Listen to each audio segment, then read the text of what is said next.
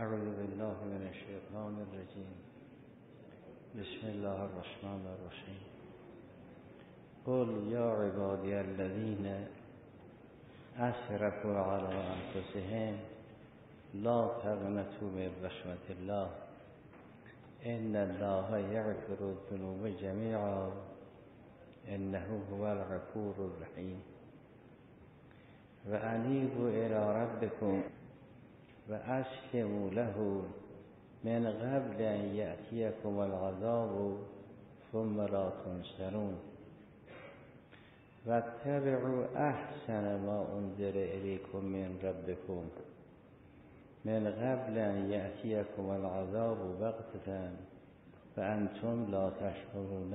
أن تقول نفس يا حسرة على ما فرطت في جنب الله. وإن كنت لمن الساخرين أو تقول لو أن الله هداني لكنت من المتقين أو تقول حين ترى العذاب لو أن لي كرة فأكون من المحسنين بلى قد جاءتك آياتي فكذبت بها واستكبرت وكنت من الكافرين ويوم القيامة ترى الذين كذبوا على الله وجوههم مسودة أليس في جهنم مثوى للمتكبرين وينجي الله الذين اتقوا بمفازتهم لا يمسهم السوء ولا هم يحزنون در این بخش از سوره مبارک زمر بعد از بیان اون عناصر کلی فرمود به این که به بندگان من بگید. منظور از این بندگان ام از تکوینی و تشریعی لکن چون کلمه از به عنوان عده ملکه است بر کافر اطلاق می شود ولی بر حجر و مدر و گیاه و اینها اطلاق نمی شود چون که عبد مخلوق نیست. عبد یعنی که صلاحیت بندگی داشته باشد. اگر به فعلیت رسید میشه مؤمن نرسید میشه کافر.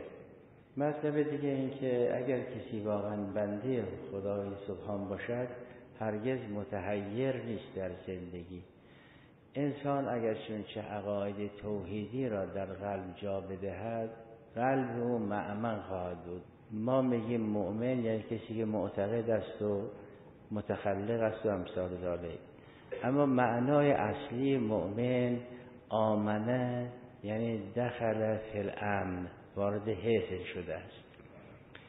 لازمه دخول در حسن یا ملازم دخول در حسن این است که معتقد باشد متخلق باشد عامل باشد به من آن داد.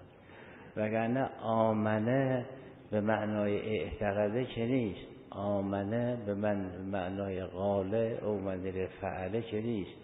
آمنه یعنی دخل فی الامن دخل فی الحس اگر ذات اقدس اعلام فرمون کلمت لا اله الا الله حسنی آمنه یعنی کسی که دخل فی الحس اگر درباره ولایت حضرت وارد شد که ولایت علی ابن ابی طالب حسنی آمنه یعنی دخل فی حسن الولایه معنای ایمان دخول در حسن است.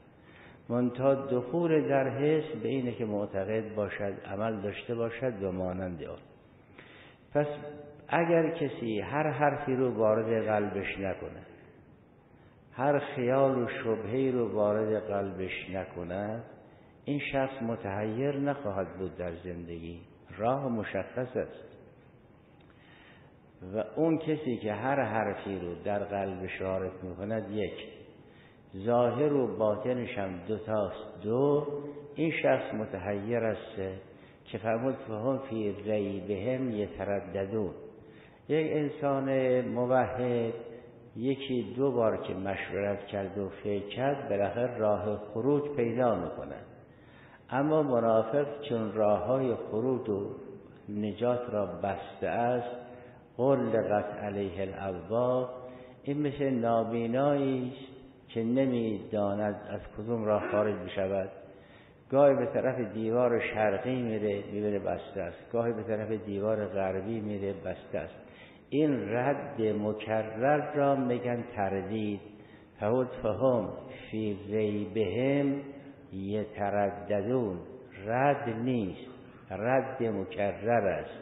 این رد مکرر همون تحیر است. بین نفی و اثبات متحیره. ولی مؤمن که هر حرفی رو نمیپذیره هر حرفی رو در جانش جان نمیده هر غذایی رو نمی‌خوره هر چیزی رو نگاه نمی‌کنه این هرگز در زندگی نمیماند متحیر نمی‌شود. مسئله بعدی مسئله توبه است. ذات اقدس توبه را به عنوان راه حل در اختیار همه گذاشت. نباید گفت توبه یه امر باعث تجری بالاخره یک کسی گرفتار بشود. این عالم عالم لغزش هست یه راه نجاتی باید باشد. منتها هرگز توبه دلیل تجری نیست به کسی رو متجری و جری هم نمی کند. برای که روشن نیست کی می میرد که اگر توبه با تأخیر عمر همراه بود یعنی عمر هر کسی مشخص بود این می توانست متجریانه کار جرأتی بکند. بگه من الان گناه می‌کنم آخرا توبه می‌کنم. اما هیچ روشن نیست. ما تدری نفسون به ایرزن تموت خب چه این توبه رحمت الهی است نه تجری عبد کی می‌تواند به وسیله توبه بگه من جرأت گناه دارم؟ چون هیچ روشن نیست که انسان در حین گناه میمیرد یا نمیمیرد. بنابراین توبه رحمت الهی است که درش باز شده است. و هرگز عامل تجری هم نخواهد لذا یغفر ذنوب جمیعا یعنی البته با توبه طبق بحثی گذاشت؟ و انیبو الی ربکم از یک طرف و اصل موله من قبل ان یاتیکم العذاب ثم لا تنصرون از طرف دیگر این که فرمود و تبعوا احسن ما انزل الیکم جناب فخر رازی به دیگران وجوه فراوانی برای این و تبع احسن ما انزل الیکم ذکر کردن.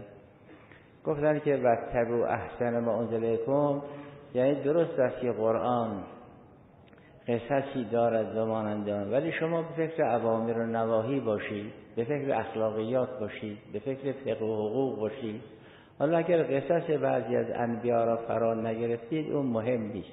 این بعضی از وجود و او احسن ما انزل که مثلا قرآن بخشی از اونها احسن است بخش از اونها حسن. برخی ها گفتن نه منظور خود قرآن است. برای که در همین سوره مبارکه زمر آیه 23 فرمود الله نزل احسن الحدیث. قرآن احسن و ما انزل است احسن الحدیث است. و تبعو احسن ما انزل الیکم یعنی قرآن کریم زیرا بسیاری از صحف الهی صحف غیبی نازل شده است ولی احسنش قرآن است. اما طبق آیات دیگری که فرمود ما در قیامت وقتی مؤمنین را می‌خوایم به محاکمه دعوت کنیم به حساب دعوت می‌کنیم احسن ما عملو را میار میاریم؟ در اونجا این گفته شد به این که اگر کسی صد تا عمل دارد ده داشت جز برجسته هاست خدا فرمود ما در قیامت اگر بخواهیم نسبت به کسی احسان کنیم این صد تا عمل که دارد همه را به حساب همون ده تا عمل برجسته حساب می‌کنیم. مثل اینکه اگر کسی بخواهد به یک طبقدار و دستفروش احسان بکند اگر او چند تا میوه درشت دارد با یه قیمت بهتر این همه میوه های طبقش رو با قیمت همون برجسته ترین میوه می‌خرد که بو احسانی کرده باشد که فرمایی احسن ما کانو یعملون. به غریبه اون احسن ما کانو یعملون این احسن ما انزل این است. قرآن آیات فراوانی دارد. فرمود به اینکه مؤمنین درجاتی دارد در سوره انفال یه تعبیر دارد در سوره آل عمران یه تعبیر دارد این تعبیران فرق دارد در جا دارد که لهم درجاتون. یه دارد هم درجاتون نه لهم درجاتون. این از جاهایی نیست که بگیم لا محذوف است. اگر گوهر انسان شده ایمان چه که درباره امار رزواله نقل شده که امار من قرنهی الی قدمهی ایمان است؟ این خودش درجه است. نه اینکه جز لهم درجات باشد بنابراین برخی ها در حدی هستند که درجاتی برای اونهاست. برخی ها به قدری پیشرفت می‌کنن که ایمان از قرن تا قدم اونها را فرا می‌گیرد. اینا می‌شوند هم درجات. این آیه فرمود به این که ما آیات فراوان داریم احکام فراوان داریم درجات فراوان داریم مراتب فراوان شما اون بالاترین مرتبه رو بگیرید. و او احسن ما انزل الیکم به ما گفتن که این نماز مقبولی داریم که در کلام هم قبول است در فقه هم قبول است. یه نمازی داریم که در فقه قبول است ولی در کلام قبول نیست. مستحضر روایات فراوانی هست که نماز به همون اندازه که نمازگزار حواسش جمع است که حضور قلب دارد به همون اندازه مقبوله. یعنی قبول کلامی دیگه.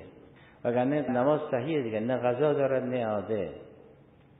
اگه کسی در نمازش حواسش جمع نباشد حضور قلب نداشته باشد نمازش که باطل نیست. این نماز صحیح هست در فقه ولی در کلام که فیض کامل به او بدهن مقبول نیست.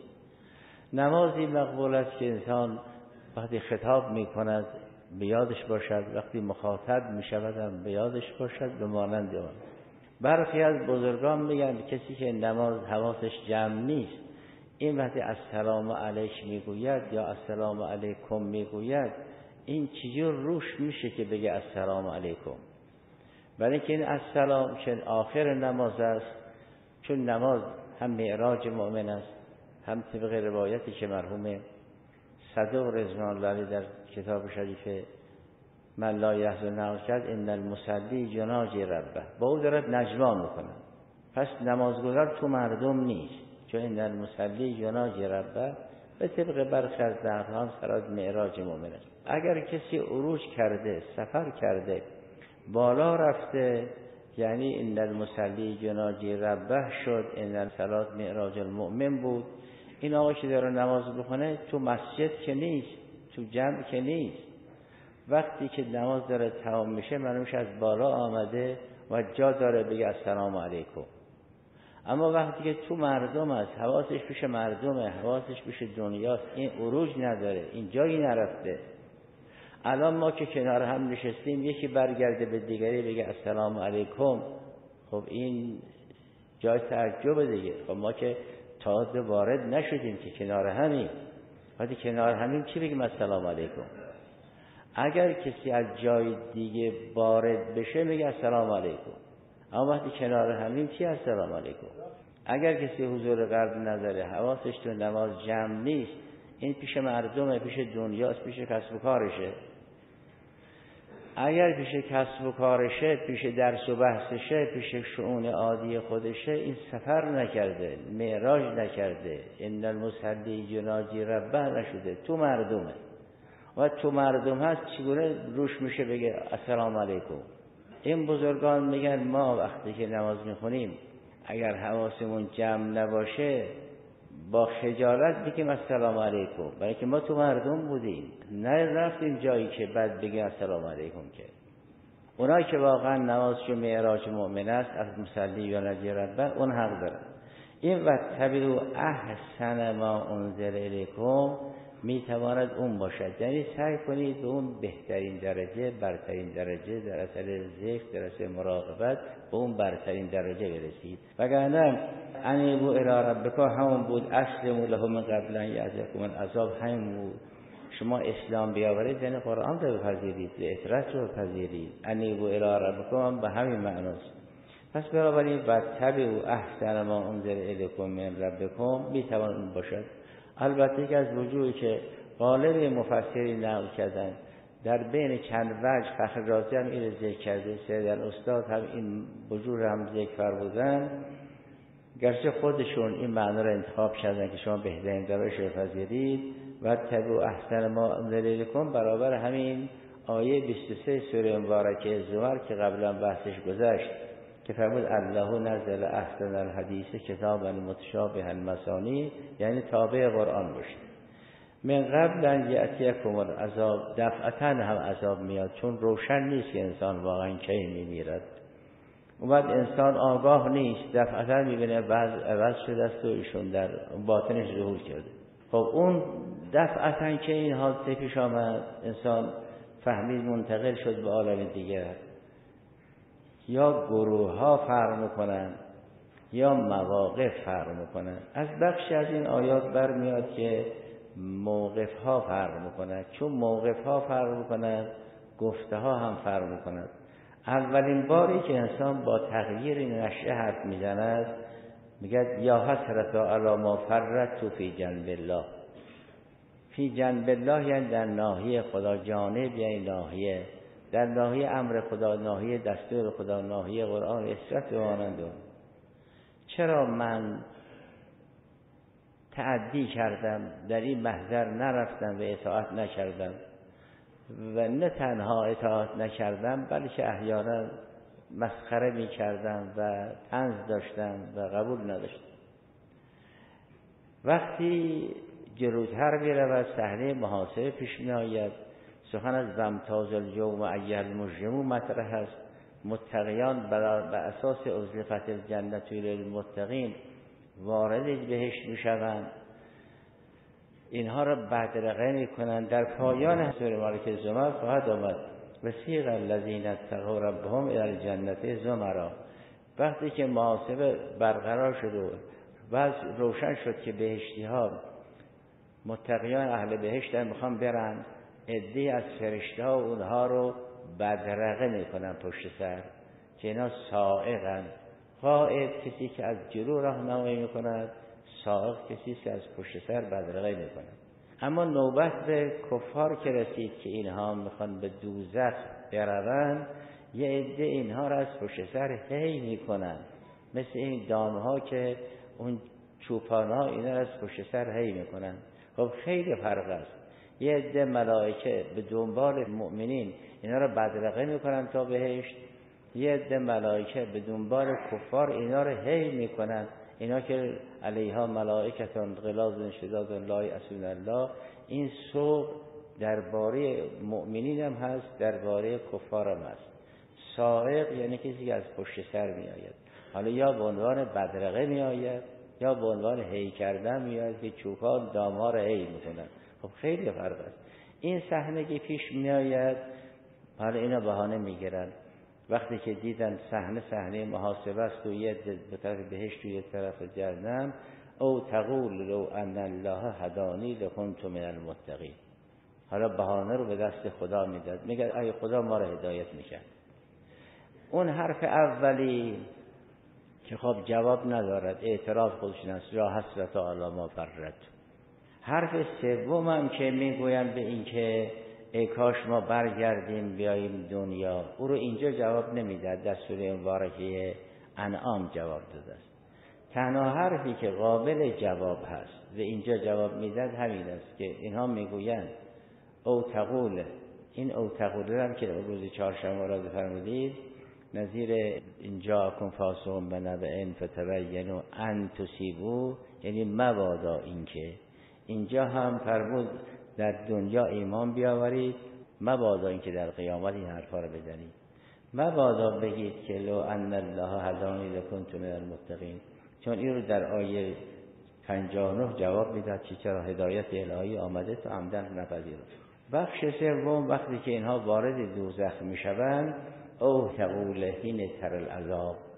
این معلوم میشه که این اقوال سگانه مربوط به مواقف سگانه است. نه مربوط به گروه های متعدد. او تقول هین تر العذاب لو ان لی کرتن.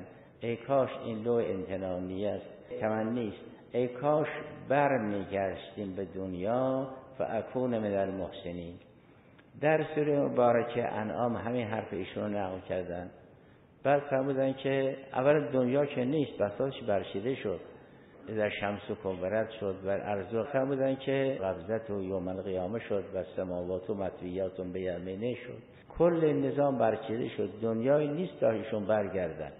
ولی طبق بیان نورانی امام رضا سلام الله علیه که از حضرت سوال کردن ذات اقدس اله علم به ممتنعات دارد. فرمود علم به ممتنعات علا فرض الوجود هم دارد. به همین آیه سوره انعام استدلال فرمود در وقتی کفار وارد جهنم شدن بساط قیامت پنج شد دنیایی نیست تا کسی برگرده. ولی بر فرض محال اگر دنیایی بود و ممکن بود کسی از جهنم برگرده بیاد دنیا اینا کسانی نبودن که اصلاح بشن. لو ردو لعادو لما ان. همین آیه را حضرت استدلال کردن که اینا انقدر کفر در درون اینها ریشه دارد که اگر بر فرض محال دنیایی بود و اینا از دوزخ به دنیا می آمدن باز به همون روش سابقشون عمل می کردن. اینجا فرماد به این که اینا میگن فاکون من المحسنین. این سومی جواب ندارد. اون اولی هم که حسرت می‌خورن اونم جواب ندارد. فقط دومی جواب دارد. دومی این است که لو ان الله هدانی لکنت من المتقین. پاسخش است که بلا قد جاءت که آیاتی.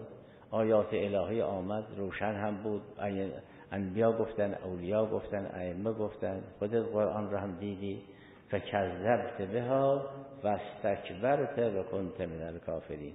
این تکذیب استکبار و کفر این باعث شد که همه این سیاد جمع شد در او ریشه دوون طورش که بالاخره هیچ راهی برای خروج نبود. این گفتن که اول اگر کسی هوا و حواس خود را کنترل نکند دیگه برده او خواهد شد. بارها از تعبیرات قرآنی کریم استفاده کردیم که بدترین دشمن ما همین غرور ماست. هیچ دشمنی به اندازه غرور و خودخواهی با ما درگیر نیست. بالاخره ما را اغرب اگر هم نیشه بزنن جان آدم رو میگن آدم دیگه میمیره راحت میشه. اما اینطور نیست که کاری که نفس اماره با آدم می‌کنه ما رو اغرب بکنن که. نفس اماره که نمی‌خواد مال آدم رو بگیره جان آدم رو بگیره این کار رو نمی‌خواد بکنه که. می‌خواد انسان رو نگه بداره اول دین آدم رو بگیره کافر بشه موزن بعد از این کافر شد مسلوب الحیثیه به بی آبرو بکنه. خیلی هستن که کافرن ولی خب بالاخره در دنیا یه آبروی دارن. اما این نفس به این غرور به اینجا اکتفا نمی کند که مثلا کسی رو کافر بکنه. تا آبروی آدم رو نبره انسان رو تفال نکنه رها نمی‌کنه. این همین تو سوره مبارکه اعراف که گذشت که تمام تلاش و کوشش ابلیس این بود که لیبدی لهما ما ووری عنهما من سوءاتهما همین. است اولش هم یا بنی آدمه. این یا بنی آدم فتنه ابلیس در شما اثر نکند. برای اینکه در گذشته این کارای کرد این تعبیر لیبدی انهما ماووری انهما لیبدی لهما ماووری انهما من سوءاتهما همینه که می‌خواد اینها رو بیابرو کنه. این در درون خانه ما به وسیله نفس اماره هست. اگر معاذالله کسی قدم به قدم به دنبال این خودخواهی و غرور بره پایانش همین. لذا فرماد که برا آیات الهی آمد. شما تکذیب کردی نپذیرفتی. در برابرش کبر نشون دادی و کفرت به عنوان ریشهدار این کنته کانه و استمراری است دیگر. یعنی استمرار پیدا کردی بر کفر. این شدی.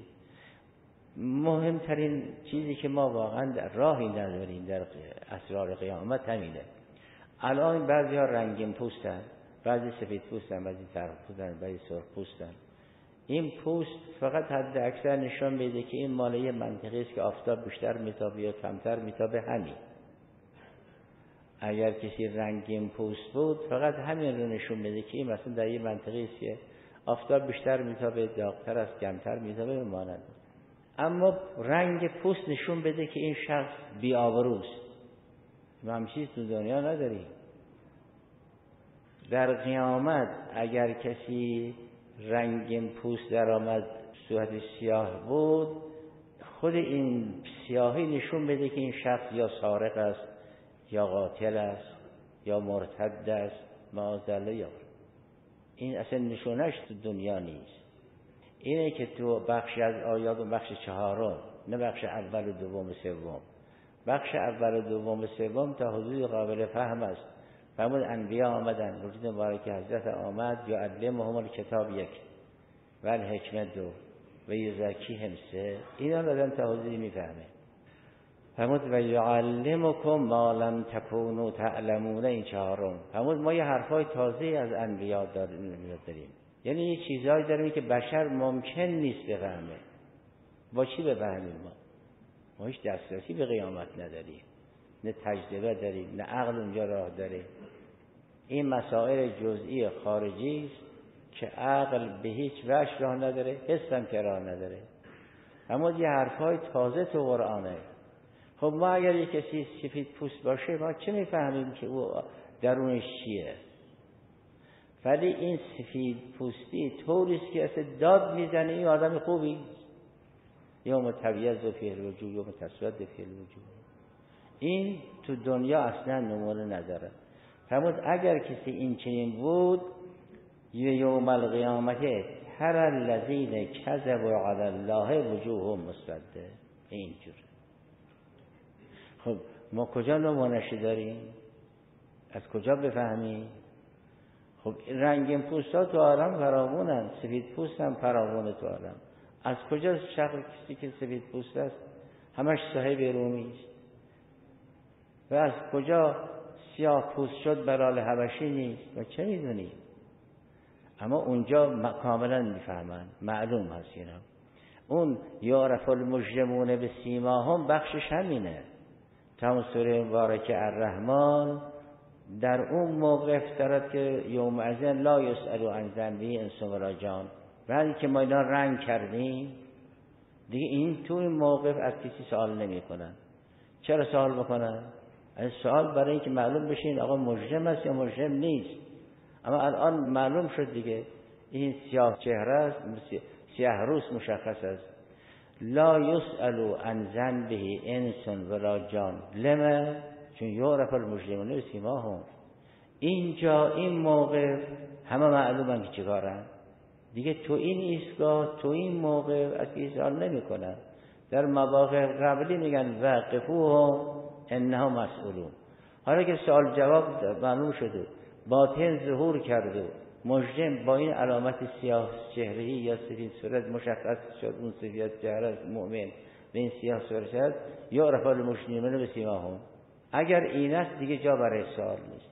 این که فرمود و یوم القیامت تر الذین کذبوا علی الله وجوههم مسوده بعد فرمود علیس فی جهنم مثلا للمتکبرین متکبر.